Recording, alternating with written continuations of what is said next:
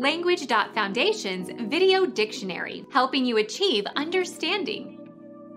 Family of North American Indian languages spoken from Labrador to South Carolina and west to the Great Plains. Algonquian, Algonquin.